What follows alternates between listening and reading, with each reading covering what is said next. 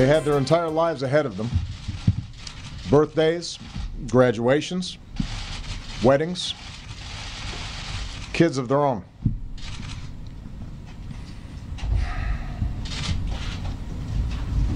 Among the fallen were also teachers, men and women who devoted their lives to helping our children fulfill their dreams. So our hearts are broken today. That was President Obama after Sandy Hook, where, as we all remembered, more than 20 little kids and six adults were murdered. Now, here he is after the Senate defeated a bill that would have expanded background checks to include gun shows and online sales. All in all, this was a pretty shameful day for Washington. But this effort is not over. I want to make it clear to the American people we can still bring about meaningful changes that reduce gun violence so long as the American people don't give up on it.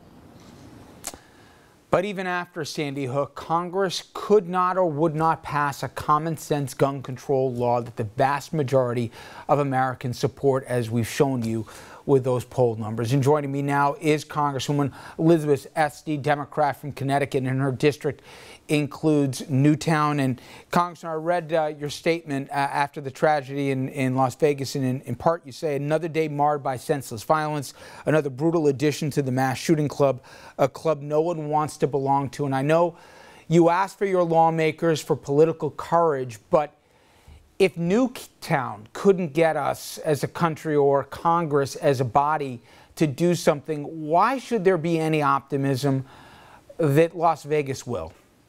Well, because the American people need us to do better. And, and at this point, frankly, it is pretty stuck in Congress. And the priorities are so wrong with the majority in the House right now that they had planned, Richard, this week to bring up a silencer bill, a bill that would have meant more people would have died in Las Vegas, a bill that would have made it more dangerous for law enforcement. So they've been going precisely the wrong direction. So my own view is I'm reaching out to responsible gun owners in my district and across America because guns are part of our culture but we have to be able to do better. And right now, the political process has gotten gridlocked in part by big money that has flooded into races. So now I'm, I'm going straight to the people and asking gun owners to come to the table and help us figure out how to do better than where we are now. You know, I'm curious uh, about that very population you mentioned, gun owners uh, in your district. And I saw one comment that came in the aftermath of the Las Vegas shooting, and this was uh, Caleb Keeter. He's a guitarist with one of the bands that performed that night. He said, I've been a proponent of the Second Amendment my entire life. Until the events of last night, I cannot express how wrong I was. We actually have members of our crew with concealed handgun licenses and legal firearms on our tour bus. They were useless. We couldn't touch them for fear police might think that we are part of the massacre and shoot us. He said, We need to stand up and we need gun control right now, all in caps. My question is for both colleagues that you serve with that might have a different letter instead of your political affiliation who will say something different to you in the cloakroom, or to constituents that may vote for your opponent in a primary, or, or I should say in a general. Have you heard any conversion from them who say, listen, I believe in the Second Amendment, but this is a bridge too far? Well, I do hear in private conversation, whether it's in the back of the room, the cloakroom, or whether it's at home in Connecticut, that people do understand we should be able to do better than where we are. And I'll tell you one of those areas where I'm working right now, and that's with veterans. We have an epidemic of veteran suicide almost all of those are with guns. And so I'm working with the VA and with veterans in Connecticut and nationally to figure out how we can do better. So I know that there's interest in and commitment in the country to do better, but frankly, things have gotten pretty gridlocked in Congress. And sometimes you got to go straight to the American people. And that's actually where I think we need to go right now. Um, and it's going to have to be pressure from the people to force Congress to change what it's doing. What will the ask be, Congressman? I ask that because there was a decision made um, from folks that were angry on the Hill uh, four years ago for understandable reasons say, okay, it's not just the assault weapons, it's universal background checks. And there was four key items that they were asking people. This time around, is one of the lessons about the failure then is it needs to be more incremental, or is it the same package that you tried four years ago and didn't work? Well, I, th- I think we're still trying to figure that out, to be perfectly honest.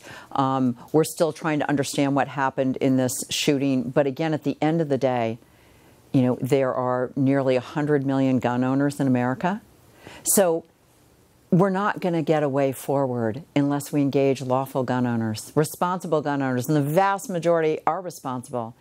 And we need their help in figuring out a way forward. And it's certainly not going to be taking away guns from people. It's got to be keeping guns out of the hands of dangerous people, out of the hands of felons and domestic violence abusers and people who are dangerously mentally ill. And that's what the background check bill is about.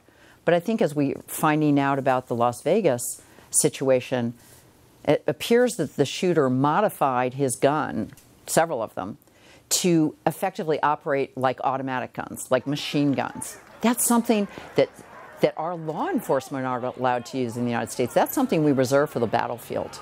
And unfortunately, Las Vegas became a killing field, a killing ground two nights ago.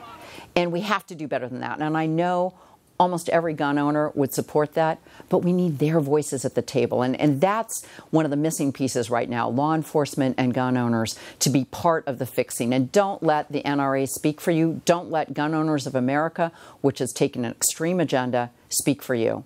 You need to speak up for yourself and for this country obviously this issue uh, personalized for you with what happened in Newtown and, and uh, some of your colleagues and unfortunate datelines across this country. We've seen mass shootings. They can obviously put a connection to it. But for any who didn't you had Gabby Giffords and then we had Steve Scalise colleagues that were gunned down in broad daylight. Mm-hmm. did that change at all some of the conversations? Or were those viewed also as one-offs you're going to have to ask some of my colleagues. I mean, I found it, find it astounding that that wouldn't touch people to think about how how much now anybody has to think about the risks and dangers to themselves, their families, whether it's in a church in Charleston or a synagogue or a temple, whether it's in a playground in Chicago or a theater in Aurora or whether it's in a workplace in San Bernardino or now listening to a country music concert in Las Vegas. We, we value our freedoms in this country, but certainly one of those freedoms needs to be one that you can go where you want and do as you please and not be worrying about being gunned down. And we've gotten to a place like people are looking for exits in movie theaters. They're having to think about that. That's crazy, and that's not the kind of world we want to live in. So we have to do better than that and and have it stop being a political football because that's a game of football that everybody's losing right now. And, and I am committed to trying to figure out, in fact, just had some conversations on the floor today with a Republican colleague and said, Would you consider joining with me in forming a bipartisan task force, just as we have on opioids, which is a crisis that's affecting Americans all over the country? We should be doing that on guns too. Figure out a better way forward. And I'm going to keep trying to do that because, again, we're all losing right now. America's losing with where we are. The only people ma- making money are the political consultants and the lobbyists who are making a lot of money on this fight. I'm curious. That congressperson you asked to join the task force, that Republican, what was his answer or her answer? His answer was yes, he was interested. All right. Well, there's a hopeful beginning. Congresswoman, I do appreciate your time. Thank you so much. Thanks, Richard. Appreciate it. RFL will be back right after this.